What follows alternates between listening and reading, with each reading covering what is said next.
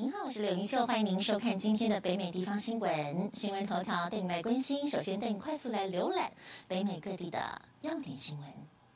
纽约时代广场下水道爆炸，民众慌忙逃避。纽约时代广场附近周日疑因下水道积累过多一氧化碳发生爆炸，现场传出巨响。在现场围观表演的民众随即四散狂奔，事件中无人受伤。纽约市消防局调查后表示，消防人员发现爆炸地点附近的一氧化碳浓度升高，随后立刻展开排气作业。大陆工程控制疫情引发需求疑虑，国际油价跌逾百分之五。国际油价今天下跌超过百分之五，市场交易员表示，国际油价主要受到中国封城控制疫情引发需求疑虑，以及欧洲对俄罗斯石油实施禁运的可能性滑降等因素的影响。纽约西德州中级原油一度跌至每桶九十二点九三美元，伦敦布伦特原油则跌至九十七点五七美元。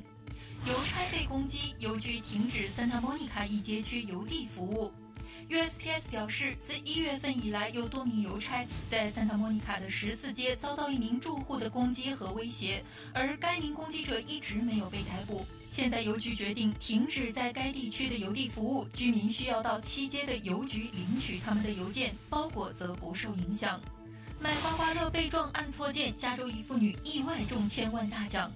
一名妇女在洛县 Tazena 的一家 Wons 超市，准备在彩券自动贩卖机挑选刮刮乐时，被一名粗鲁的陌生人撞到，让原本只买低价彩券的她不小心按到面额价值三十元的刮刮乐，但这张刮刮乐让她刮中了一千万美元的大奖。加州彩券局说，这是最奇怪的方式赢得千万大奖。中听中望，这里报道。